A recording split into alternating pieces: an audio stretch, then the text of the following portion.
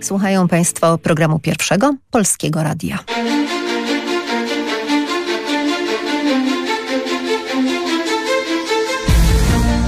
Eureka. Audycja popularno-naukowa. Katarzyna Kobylecka, dobry wieczór. Była jedną z najpiękniejszych i najbardziej adorowanych kobiet swojej epoki. Pani na zamku książ w Wałbrzychu, Maria Teresa Oliwia Hochberg von Pless, zwana potocznie księżną Daisy, czyli stokrotką. Taki przydomek otrzymała jeszcze jako mała dziewczynka, urodzona w walijskim zamku w roku 1873. Jej rodzice, brytyjscy arystokraci, przyjaźnili się z dworem królowej Wiktorii i należeli do śmietanki towarzyskiej Londynu, ale wkrótce popadli w finansowe tarapaty. By dorastającej pięknej córce zapewnić dostatnią przyszłość, rozpoczęli poszukiwania odpowiedniej dla niej partii. Wybór padł na syna jednego z najzamożniejszych rodów niemieckich – 30-letni Jan Henryk Hochberg von Pless był wówczas sekretarzem w ambasadzie niemieckiej w Londynie i szybko oświadczył się 18-letniej Daisy. I tak romantycznym ślubem w roku 1891 zaczyna się ta historia, która będzie, proszę Państwa, miała swoje dramatyczne zwroty. Ale o tym opowiedzą już moi goście. Katowickim studiu Polskiego Radia jest dr Arkadiusz Kuzio-Podrucki, historyk dziejów Śląska z Instytutu Badań Regionalnych Biblioteki Śląskiej w Katowicach. Dobry wieczór. Witam serdecznie panią, witam serdecznie państwa. A we Wrocławiu pan Mateusz Mykytyszyn, prezes Fundacji Księżnej Daisy von Pless, specjalista do spraw komunikacji i kontaktów międzynarodowych w Zamku Książ. Witamy. Dobry wieczór pani redaktor, dobry wieczór słuchacze. Witam pana Arkadiusza. Jeden z panów jest na Górnym Śląsku, drugi na Dolnym. Z Katowic jest niedaleko do Pszczyny, a z Wrocławia no w sumie niedaleko do Książa. A wszystko to, proszę państwa, ziemie, które niegdyś należały do ogromnego majątku i dóbr rodziny Hochbergów. Młoda para zaraz po owym londyńskim ślubie zjechała właśnie do Pszczyńskiego Zamku, ale Daisy tam się nie odnalazła. Proszę Państwa, jedna uwaga. Hochbergowie jako arystokracja śląska to ród tak potężny, który moglibyśmy porównać do polskich Radziwiłłów, Czartoryskich czy Potockich. Także była to ogromna fortuna. Dlaczego się nie odnalazła? Prosta odpowiedź. Pszczyna, Śląsk, a Wielka Brytania, Anglia to były dwa całkiem różne kraje. Daisy przyjeżdżając tutaj wiedziała tylko, że fortuna jej męża jest ogromna. Ale nie wiedziała, jaki jest styl życia, nie wiedziała, jakie są obowiązki dworskie. Pierwsza rzecz, w Szczynie na przykład zobaczyła, że nie ma łazienki, taką jaką ona znała tam w Anglii. No i tutaj też okazało się, że ten protokół dworski, jaki obowiązywał na dworze pszczyńskim, książęcym dworze pszczyńskim, no był tak sztywny, że ją trochę przerażał. Musimy pamiętać, że księżna Daisy do Pszczyny przyjechała na dwór swojego teścia, a prawdziwym domem i sercem, y, które było wtedy dla niej y, najważniejsze, był książ, do którego dumnie wkroczyła para, którą prasa ówczesna opisywała jako niemieckiego orła i angielską różę.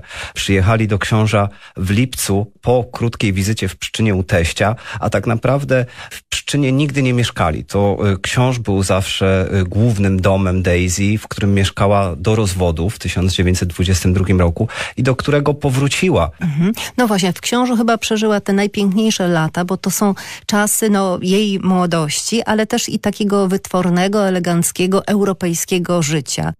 Książ też był właśnie tym domem, który teść im ofiarował właśnie na tą osobistą rezydencję. No i też był to zamek zdecydowanie większy. Pamiętajmy, że książ to jest dzisiaj trzecia największa rezydencja, trzeci największy zamek w Polsce po Malborku i Wawelu, więc było gdzie, że tak powiem, mieszkać i co urządzać. Mhm. Wtedy też pamiętajmy, przed I wojną światową e, jej małżonek Jan Henryk XV rozpoczął budowę tak zwanego skrzydła północnego i zachodniego, tak zwanego cesarskiego to jeszcze powiększyło tą rezydencję.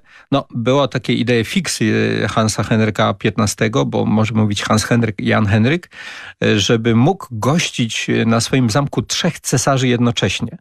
No, ten fakt nigdy nie miał miejsca, ale faktem, że byli królowie, książęta, wybitni generałowie, bo nie oddał... Na nie przykład Winston Churchill, tak, jeżeli właśnie mogę się dyplomaci, wtrącić, który był tak. spowinowacony z księżną Daisy. Te przyjęcia, to nie było jedyne, y, czym y, zajmowali się Hochbergowie. W 1907 roku Daisy już na poważnie rozpoczęła swoją działalność charytatywną i dlatego tak bardzo ją tutaj pamiętamy, bo była prekursorką najróżniejszych inicjatyw społecznych, które przysłużyły się bardzo mieszkańcom Wałbrzycha. Między innymi dlatego zwyciężyła Daisy jako patronka największej szkoły w Wałbrzyskim Śródmieściu. Pamięta się jej oczyszczenie rzeki Pełcznicy, pamięta się otworzenie pierwszych e, spółdzielni socjalnych dla koronczarek śląskich, e, gdzie mogły sprzedawać swoje rękodzieło bez pośrednictwa nieuczciwych pośredników, ale także projekt mleczny, który pozwolił na to, że żony górników mogły pobierać w tak zwanych stacjach mlecznych mleko dla swoich dzieci. Daisy otwierała także ośrodki specjalne dla dzieci, między innymi sanatorium pod Chełmcem e, dla dzieci chorych na gruźlicę, czy pierwszą szkołę w Wałbrzychu dla e, dzieci niepełnosprawnych. Pisze o tym dużo w swoich pamiętnikach. Ja bardzo polecam e, Taniec na wulkanie, lepiej przemilczeć, co przemilczałam.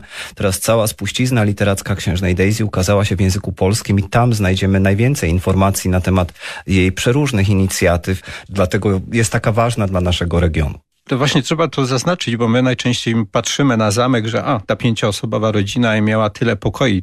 Nie, proszę Państwa, te zamki, te rezydencje to były takie przedsiębiorstwa, które dawały pracę, zajęcie mnóstwo ludzi. A propos rodziny pięcioosobowej, powiedzmy o dzieciach, bo w roku 1900 narodził się pierwszy, pierwszy z trzech synów. Tu też trzeba jedną rzecz jeszcze powiedzieć. że Było to małżeństwo aranżowane. Hans Henryk e, wprawdzie mówił jej, że to nic, że nie ma uczucia, to uczucie przyjdzie. Ale z tego, co można wyczytać w pamiętnikach, to uczucie dla Hansa Henryka chyba nigdy nie przyszło. Co też powodowało, że to małżeństwo, no nazwijmy to było takim małżeństwem stanu, ale na pewno nie było małżeństwem z miłości. No tak, ale obowiązki w stosunku do rodu trzeba było wypełnić, prawda? I ona jednak tego się podjęła. No, urodziła, trzech Rodziła synów. trzech synów. Najstarszy Jan Henryk XVII, e, ostatni właściciel Zamku Książ, e, został ochrzczony w Berlinie. Do chrztu podawał go sam cesarz niemiecki. W przypadku drugiego syna, który urodził się pięć lat później, w 1905 roku, chodzi o Aleksandra, zwanego w rodzinie Lekselem.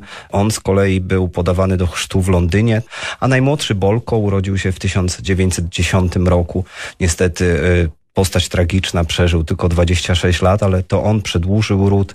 Jego syn, z kolei książę Bolko, umarł w tym roku i dzisiaj żyje jedynie prawnuczka Daisy, hrabianka Felicitas von Hochberg, która mieszka w Monachium. E, Jeszcze może powiedzmy o tych latach, które nadejdą za chwilę. Rodzina jest już w komplecie, ma trójkę małych chłopców, no ale w roku 1914 wybucha wojna, która komplikuje niezwykle te stosunki na Zamku Książ. Pamiętajmy, że Daisy była Angielką, a Niemcy i Anglia były po dwóch stronach frontu. To też było problemem, że w Pszczynie przez kilkanaście miesięcy miał siedzibę sztab generalny państw centralnych. No i w tym momencie Angielka, przedstawicielka jakby nie było państwa, z którym się walczy, choć obywatelka teraz już Niemiec, była problemem, a przy sile i przy energii Daisy, no było to prawie nie do pogodzenia. Stąd ona zdecydowała się, no zgodnie ze swoim charakterem, na pomaganie innym. I to chyba było najlepszym wyjściem z tej sytuacji. Mhm. Rozpoczęła pracę Tak, jako pielęgniarka Czerwonego Krzyża. Najpierw niemieckiego Czerwonego Krzyża, pracowała w szpitalu Tempelhof, y, berlińskiej dzielnicy Tempelhof, no ale niestety na początku y, wojny już wydarzył się pewien epizod, który bardzo wpłynął na całe jej życie i myślę, że też miał wpływ na rozpad małżeństwa y, między Janem Henrykiem XV i Daisy. Ona odwiedziła ze swoim szwagrem Fritzem Hochbergiem obóz dla jeńców angielskich w Doberitz i Daisy zabrała listy od tych osób, żeby je wysłać do ich matek. To się spotkało z bardzo negatywnym przyjęciem. Oskarżono ją po prostu o szpiegostwo na rzecz Wielkiej Brytanii. Rozpoczęła się y, nagonka prasowa na nią, ogromna. Ona była tak zdesperowana, że w pewnym momencie chciała nawet popełnić samobójstwo, bo y, zresztą jak się nawet dzisiaj czyta te artykuły w prasie ówczesnej, to one są naprawdę okrutne i niesprawiedliwe. Daisy straciła y, w końcu pracę w niemieckim Czerwonym Krzyżu, ale znalazła pracę w austriackim Czerwonym Krzyżu i jeździła pociągami sanitarnymi na front y, serbski. Koniec I wojny światowej zastał ją właśnie y, w Belgradzie. Została odznaczona przez Czerwony Krzyż za swoją działalność w czasie I wojny światowej. Pokazuje to jej humanitarną postawę i jak ważne było dla niej to, że liczył się człowiek. Mhm. Proszę Państwa, bohaterką dzisiejszej e, świątecznej Eureki jest księżna Daisy, angielska arystokratka, która związała swoje życie z zamkiem książ w Wałbrzychu. Po krótkiej przerwie wracamy z dalszą częścią opowieści. Księżna Daisy Hochberg von Pless, pani na zamku książ. Tę postać przywołują dziś dla Państwa moi goście, dr Arkadiusz Kuzio-Podrucki, historyk dziejów Śląska oraz pan Mateusz Mykytyszyn, prezes Fundacji Księżnej Daisy.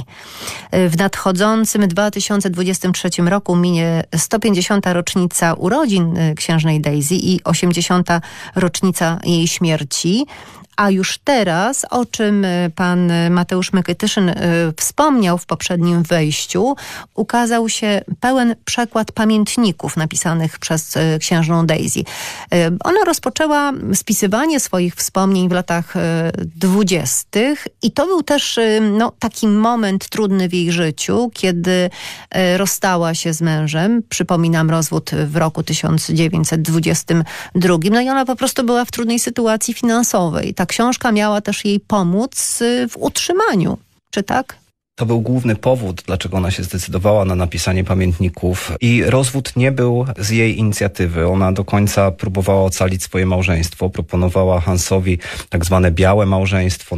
Y, no ale niestety Hans dążył do rozwodu. Daisy była coraz bardziej schorowana w tamtym czasie. Już miała problemy z poruszaniem się. Dzisiaj Tutaj właśnie y, powiedz... wiemy, że to mhm. było stwardnienie rozsiane.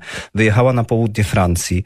Zaczęła nowe życie z dala od synów, z dala od męża, a szalejąca hiperinflacja, kryzys lat 20., y, początku lat 30. sprawiły, że Daisy y, zaczęła mieć po prostu problemy finansowe i dlatego zdecydowała się na wydanie pamiętników, które odniosły ogromny sukces. Wydaliśmy pierwszy pełen polski przekład Tańca na wulkanie. Ta książka wcześniej była przetłumaczona we fragmentach, skrótowo. Teraz już cała spuścizna literacka została przetłumaczona przez panią Barbarę Borkowy, która jest również autorką bestsellerowej biografii Daisy von Pless i Sheila Westminster, siostry, bo również siostra Daisy wyszła za jednego z najbogatszych mężczyzn ówczesnej Europy, ale w Anglii za księcia Westminster Westminsteru. Ja też znalazłam taką informację, że w latach dwudziestych właśnie, żeby poprawić swoją finansową kondycję, miała też taki krótki epizod związany z reklamą amerykańskich kremów. Była tak piękna, że zatrudniono ją jako modelkę. Mercolized Wax, tak się nazywał ten krem. To był rzeczywiście amerykański produkt, ale wtedy była y, taka moda. Po I wojnie światowej wiele kobiet z wyższych sfer decydowało się na użyczenie swojego wizerunku reklamie prasowej, między innymi królowa rumuńska Maria, z którą Daisy była zaprzyjaźniona. Znaczy tutaj pamiętajmy, że pierwsza wojna, koniec pierwszej wojny był także końcem świata arystokracji, końcem świata monarchii. To znaczy oni pozostali książętami, baronami i tak dalej, ale utracili wszystkie przywileje, między innymi też przywileje związane mm, z działalnością gospodarczą. Wielkie imperium przemysłowe, magnackie Hochbergu zostało podzielone między Polskę i Niemcy. Pszczyna była po stronie polskiej, książ był po stronie niemieckiej. Tutaj też pamiętamy, że... I stąd, przepraszam, to obywatelstwo polskie, prawda? Które tak, również dokładnie. i książę przyjął w momencie, kiedy Pszczyna została włączona w granice II Rzeczpospolitej. No nawet same dzieci też Daisy się podzieliły, bo przecież Aleksander potem zamieszkał już na stałe w Polsce, a Jan Henryk XVII został w Niemczech. Także to są naprawdę bardzo ciężkie czasy, nie tylko dla samej Daisy, też dla całej rodziny Hochbergów. I jeszcze ten, e, musimy to powiedzieć, skandal towarzyski, gdzie Jan Henryk XV zakochał się w hiszpańskiej arystokratce, dużo, dużo młodszej od niego, która później, no powiedzmy tak elegancko, również zdobyła miłość najmłodszego syna Jana Henryka XV, czyli Bolka, najmłodszego syna Daisy. Tak, tak, to rzeczywiście musiał pewnie być skandal, bo prawda, zakochał się de facto w swojej macosze. No to były bardzo ciężkie czasy. 18-latek. Bardzo jest to ciekawa historia. Y, w historii życia Daisy jest wszystko. Jest miłość, jest wojna, jest ogromna fortuna, jest jej utrata, jest zdrada, problemy y, z dziećmi, dlatego jej postać fascynuje.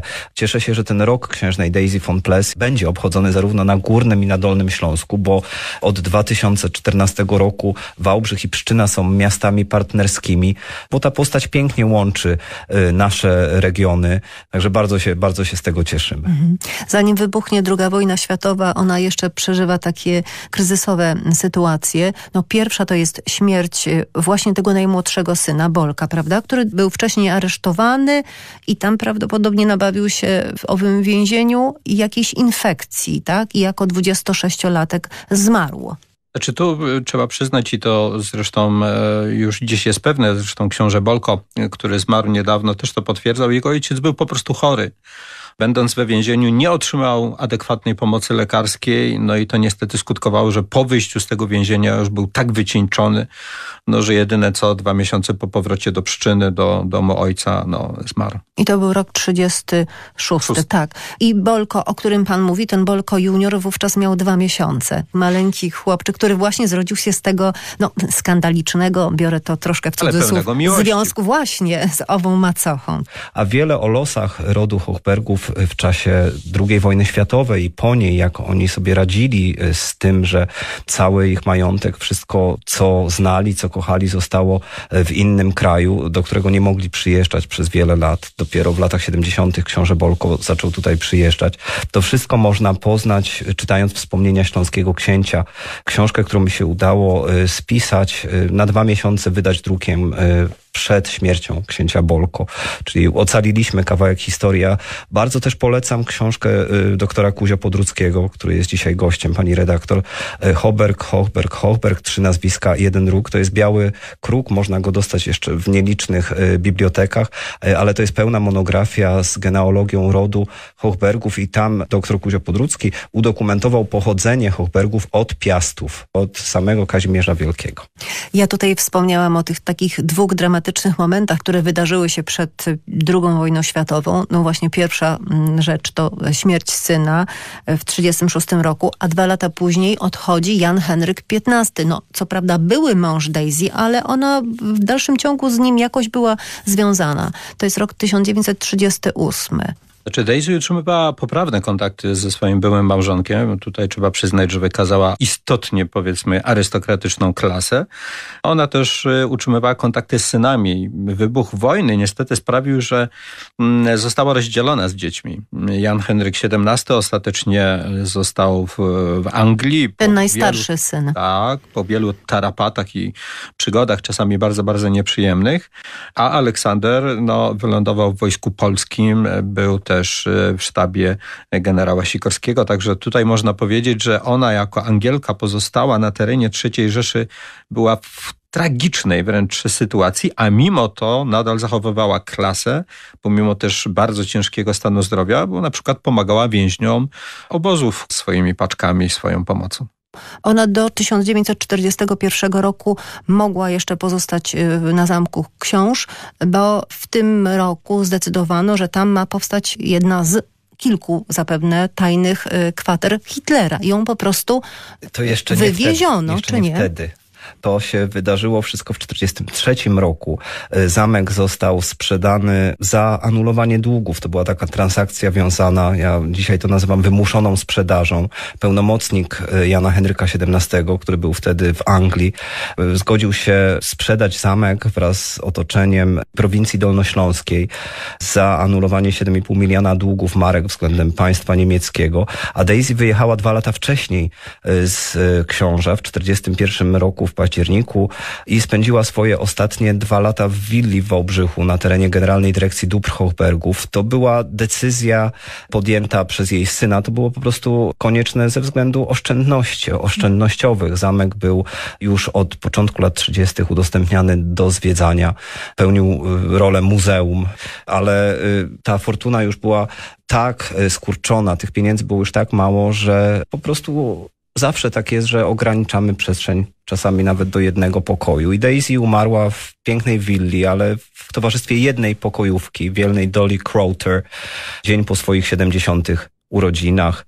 Została pochowana 2 lipca 1943 roku w mauzoleum w Książu. Jej szczątki spoczywały tam przez dwa lata. Później, kiedy w 1945 roku Armia Czerwona wkroczyła do Książa, mauzoleum zostało splądrowane, trumna ograbiona. Wtedy między innymi zdjęto Daisy z y, palca obrączkę ślubną, y, mały sznur pereł, bo te słynne, legendarne perły Daisy, które miały 7 metrów, już wcześniej zostały pocięte i sprzedawane we fragmentach, między innymi po to, żeby żeby zgromadzić środki na łapówkę potrzebną na wyciągnięcie Bolka z więzienia gestapowskiego.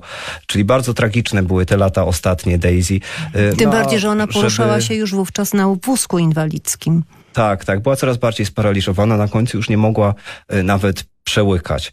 Pamięć Daisy y, przetrwała, mimo tego, że zmieniły się granice, mimo tego, że nie wiemy, gdzie dzisiaj znajdują się jej szczątki, bo po splądrowaniu mauzoleum wierna służba przeniosła trumnę Daisy do grobowca y, ogrodnika Szolca w dzielnicy Szczawienko dzisiejszej Wałbrzyskiej. Ten cmentarz nie istnieje, został splantowany w latach 60. pod budowę drogi. Od tej pory ślad po szczątkach Daisy się urywa, ale podobno są osoby, które wiedzą, gdzie ta trumna mogła być przeniesiona przeniesiona. No ale to jest jedna z tych legend właśnie, którymi życie Daisy obrosło i które sprawiły, że dzisiaj tak wiele osób się nią interesuje i że możemy w drugi dzień świąt posłuchać o Daisy w polskim radiu. Księżna Daisy Hochberg von Pless, pani na Zamku Książ. Tę y, piękną i naprawdę intrygującą postać przypomnieli dziś y, dr Arkadiusz Kuzio-Podrucki, historyk dziejów Śląska z Instytutu Badań Regionalnych Biblioteki Śląskiej w Katowicach oraz pan Mateusz Mykytyszyn, prezes Fundacji Księżnej Daisy von Pless, specjalista do spraw komunikacji i kontaktów międzynarodowych w Zamku Książ. Bardzo panom dziękujemy. Dziękuję bardzo. Bardzo dziękuję. A Państwu, naszym słuchaczom, dziękujemy za uwagę. Katarzyna Kobylecka. Do usłyszenia. Polskie Radio. Program pierwszy. Jedynka.